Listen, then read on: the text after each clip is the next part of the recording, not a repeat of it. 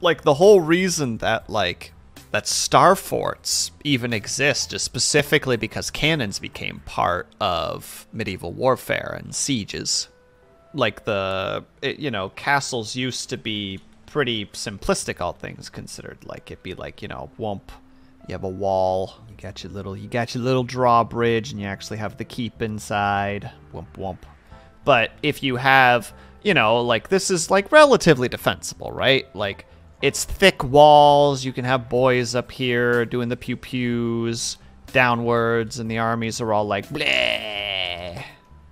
arrows, I'm dead. Oh no.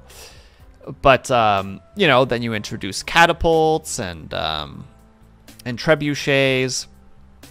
So you start doing some damage to the walls, but they're still relatively capable of like taking some sustained hits because like trebuchets and catapults were not hyper accurate. They were relatively accurate, but you know, they were they were still relatively good all things considered. But stone walls can take some hits.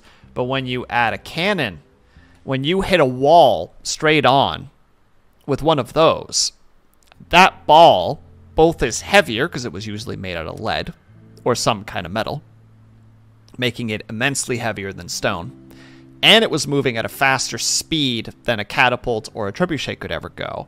And as we know, uh, force equals mass times acceleration. That's right, we're bringing math into this. Not only are you increasing the mass, but you're increasing the acceleration. So you are very oh, well that's not that's not correct. So you are very much increasing the force behind it, right? So when you hit those walls dead on, because a lot of castles had a lot of straight walls, you would, like, a few shells could potentially take them down because of how much power was behind cannons. So what people started doing, and these were very expensive forts, mind you, but they started building them like this.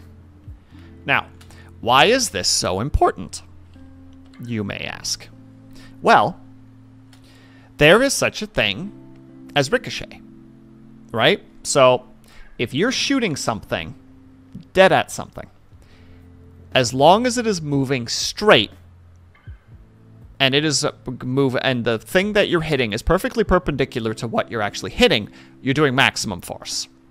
Like all the force is hitting this point, right? Which will ripple to which will ripple around it and do more damage and such. But if you're shooting at this angle with the ball, only the a bit of the force is going to go this way, but it is most likely going to bounce. So it will do some damage, but it will be greatly reduced simply due to the fact that there is surface for it to move on. It's also the reason that tanks use a lot of angles in their builds. Like old tanks, you know, used to have fronts that were more along the lines of like this. That would be the front of a tank if you took the treads away. And now there's also mo- an extra reason to this, which I think is also very fascinating. So not only do you have this ricochet effect, but technically the wall is thicker. Because if the wall is this thick, let's say, oh no, we'll do this, we'll do this properly, we'll do this properly. All right? If you're hitting this way, you have to go through this much wall. That much wall. All right? That's how much wall you have to do. But if we rotate and you go this way, now you have to go through this much wall. And I think you can already see it. Hold on, we'll do it. We'll do it. We'll do it just for you guys. Here's a line. Here's the line. That's how much distance. All right. So now we're going to go back to straight, and we're going to compare the two. See? You actually have to go through more wall at an angle. So the wall is actually stronger at an angle, specifically because by the direction of the force, it's thicker, making it safer. So star forts were literally designed under the concept of angles so that cannonballs couldn't do as much damage to the walls. Also, because if you put a cannon let's do this one more time. If you put a cannon on the end of this, you know, and you have another one over here just for simplicity's sake. So if you have cannons here, hitting here is an incredibly difficult thing to hit, right? From the outside perspective. So you would need to be let's say you're you're firing here. So you would need to be here to hit here because this would be a better spot to hit in terms of flat. But what's the problem with that is you don't have the same distance, right? Because if you look at this, let's uh, draw another line really quickly just for safety.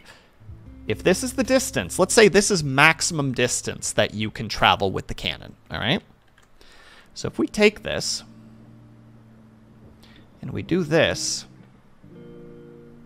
Look how suddenly how much closer you need to be to the actual fort in order to do damage to it. Right?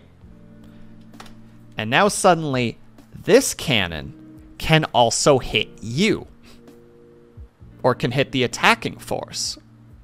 They were very expensive to build, but they were very, very smart. and very dangerous. Like, Google a star fort and like tell me that that's not super expensive. Well, specifically Star Fortress, I believe, is what you're looking for. Star Fortress medieval. Right, they're also called bastion forts. There we go. I know them as star forts because of the shape.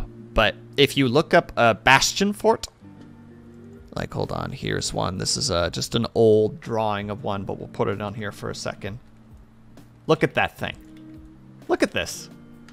This is from an outside. this is from a, a, a, a bird's eye view perspective, probably with some interiorness so that you can see. But like, look at this. Yeah, there you go. A small lesson in uh, medieval warfare with Will Sleeps Not. Armchair historian.